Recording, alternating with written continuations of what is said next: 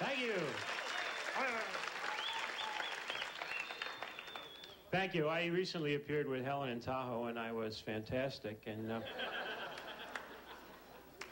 you might wonder what makes a fantastic comedian, or what makes any comedian. You know, uh, Midnight Special had a comedy show a few weeks back, and uh, a lot of comedians on it. And comedians are basically very neurotic people.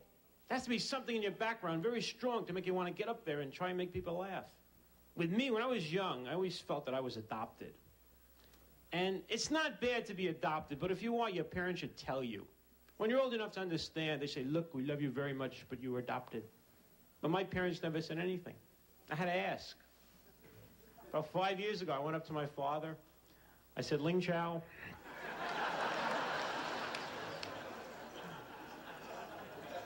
I said, Was I adopted? He said, No, you're not adopted. Who told you you adopted? As quick as you can, snatch the pebble from my hand.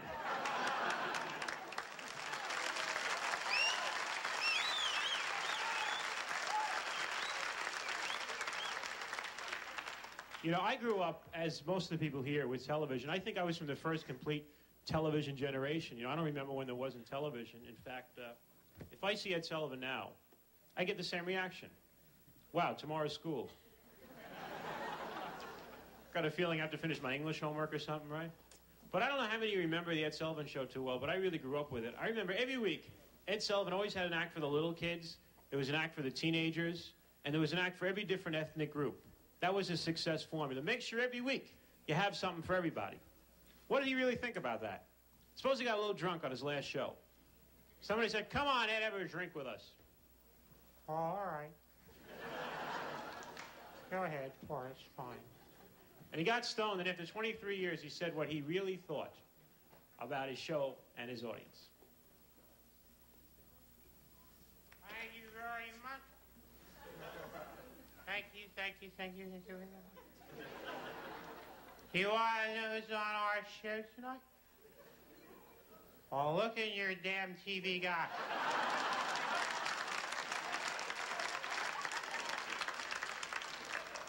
All right, let me see it. Let me see it. For the Jews, Myron Cohen is going to take us some Jew jokes. For the Negroes, James Brown is back there. There's a whole group of them back there. They're going to come out here and do some of that soul crap. Right on, right on, right on. From Italy, the magnificent Italian acrobats of Vacaccio, Vaciccio, Vachuccio. Oh, I can't understand. What is that? Is that them? Hello, senors. Buenos fichos. What's your name? Bachachi? Bachacha? Will you say your name, please? You speak English? Speak o Englishy? What's your name, oh? Bachacha? Same to you. This one's for your brother. This one's for you.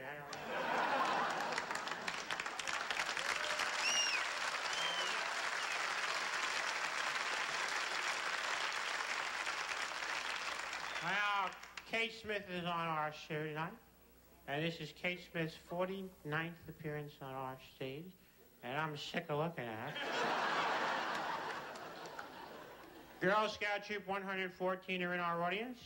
They're going to stand up and show you their cookies.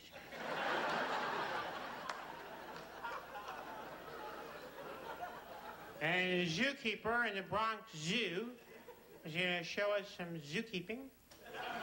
You know, come in here and force feed prune juice to a monkey. Now, you youngsters are going to like this. And your Wildlife Association reminds you that a regular monkey is a happy monkey.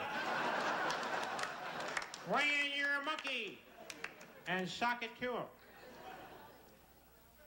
He doesn't want to do it? I'll bring Kate Smith in here. Will Come on, Kay, we got a surprise for you. We'll bring your moon over the mountain. She doesn't want to do it either. Where's Topo Gigio? Oh, old fairy mouse. Well, I'm not going to do it. I'm going home. Well, good night.